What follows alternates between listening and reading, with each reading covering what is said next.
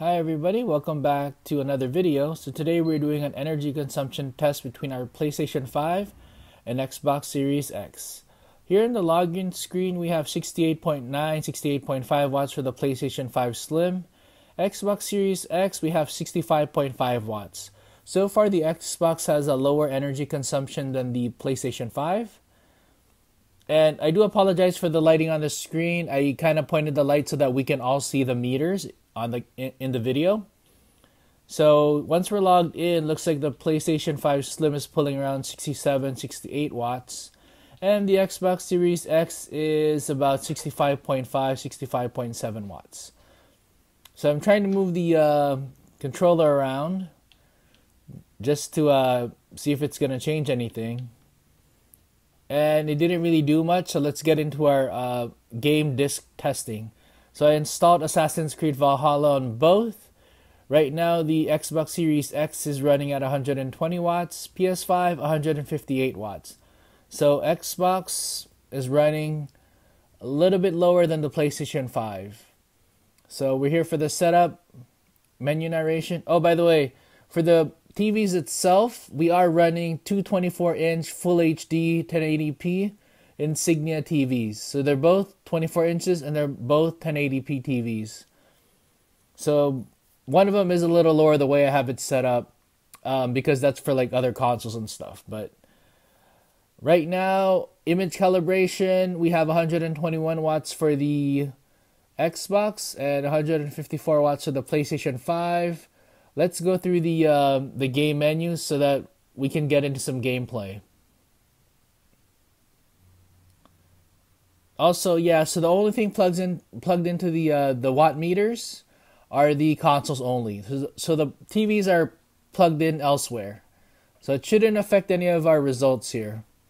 So here, let's start a new game. And I did mute both of the TVs just in case. Let's go for easy, stealth difficulty, and let's get into some cutscenes. Cutscenes, we have 102 watts for PS5 Slim, 92 watts for the Xbox. So I can see that the PS5 uh, went down a little bit to like 100. 100 versus 92 watts. So Xbox is still lower than the PlayStation 5. I'm going to let it play along for a little bit longer.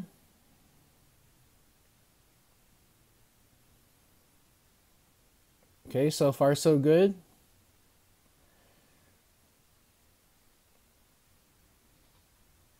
Yeah, looks like we got around 91, 92 for the Xbox, 99 watts for the PlayStation. So Xbox again with the uh, lower energy consumption. Let's go into some gameplay. So I am trying to control the character with two hands, two controllers. So we got 200 watts for the PlayStation 5 Slim, 153 watts for the Xbox. Again, Xbox again with the lower power consumption. So let's uh, walk around a little bit. Let's give it a try. I've never played this game before, so I don't really know what I'm doing. So let's try the dance thing here.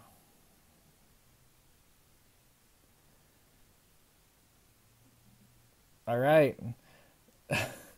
All right, so uh, during this gameplay, what we got is 201 watts for the PS5 Slim, 153 watts for the Xbox. So I'm going to let it run for a little bit longer and then we're going to move on to a, a uh, different test. All right, so let's do a Blu-ray test here. Let's load up Dragon Ball on the Xbox and Naruto um, on the PS5 Slim.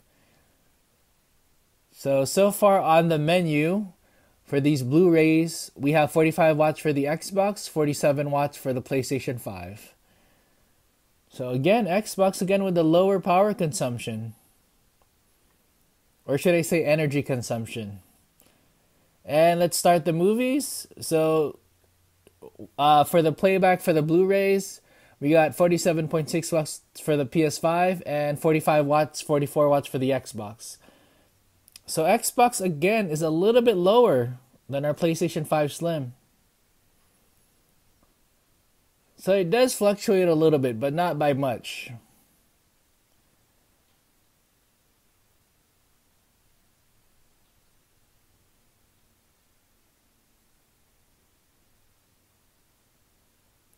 Alright, so I guess it's time for us to do a final test. PS5 Slim, we're going to go into rest mode. Xbox Series X, we're going to go into sleep mode. So let's do it. So 2.4 watts for the PlayStation 5 Slim, 7.6 watts for the Xbox Series X. What's weird is the Xbox Series X, um, it didn't immediately drop down. It was stuck at like 40 watts and then like 29 watts for a little bit. And then it took a few minutes for it to drop down to around 7 watts for the Xbox Series X. Either way, um, I guess in rest mode, the PS5 Slim uses less energy than the Xbox Series X.